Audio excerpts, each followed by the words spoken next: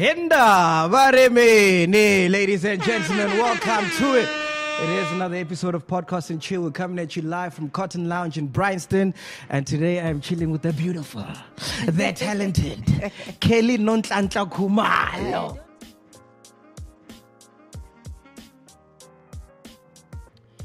Well, I was born in uh, Natalspruit, Okay. Katleho. Moved down to KZN, came back to Spruitview, and uh, started music while I was still in Spruitview. Why did you move to KZN? It was dur- during the riots between the Oh. ANC and the IFP. You- That led to me quitting school. You quit school. I did at grade 10. Wow, that's brave at that time. I, I, I actually went to grade 10 like briefly. By March, I was out of school. So What made you want to quit? I wasn't happy. Your career started on Crux Gospel Star. Yes. Did, was it, that was like idols back in the day, was it? Sort of I, I gospel idols. Okay. Yeah. So who, what made you decide to go there? I saw it I saw it on TV. Yeah. And I'm like, now this is what I want to do, not the boring stuff about school and stuff. So I saw that on I saw the ad on TV and I decided to go. And But I broke into the industry with uh, Qinisela. Oh. Qinisela. Yes, Yeah. yes, yes. That was big. It was so huge. It hit me so hard to a point where I woke up one day. I was like, "Is this really me, or is it just me?"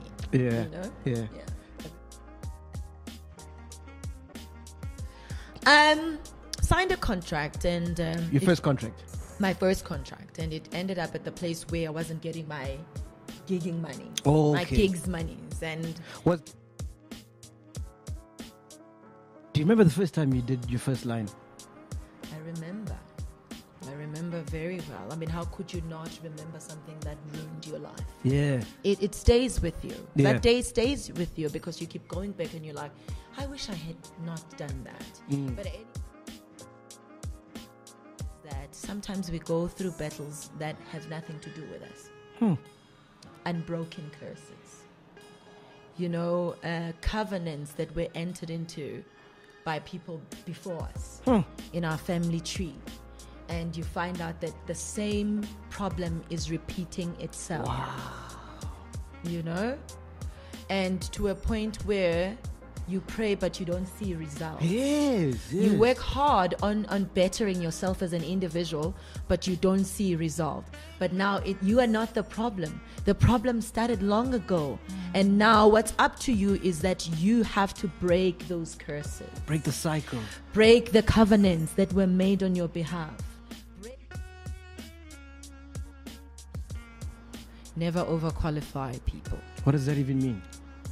You know, sometimes the, you look at the guy and he looks so handsome, and you think he can be what you want in a relationship. Mm. You know, you fall for the looks, you fall for attention, For the wrong you, things. you you fall for sweet words and you you you, you know you, no ba- basigoqa yazi nokuthiwa siyagoqiwa ngempela basishayashaya bakushayashaya and you, you you you think it's love that's you overqualifying people into your life you're giving them things that not- that they are not worthy of Mm.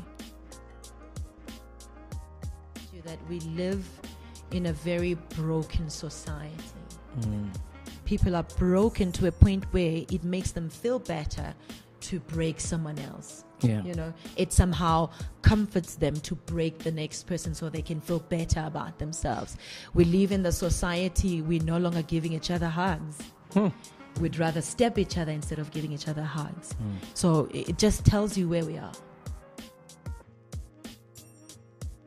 Um, album is out, and uh, and we're going to be releasing a song called "Strong Woman," featuring Brenda Mtambo, and we are on top of that book. Oh, you you're doing a book. Yes, it's it's it's based on how society views women. Because people can't treat you like that, and and and I mean, unless they see the power in you. Yeah. Because sometimes the enemy sees what's in you before you even realize it. they're trying to squash it before it comes to full, you know. Chill. MacG, the Ghost Lady, and Lenn Moleko.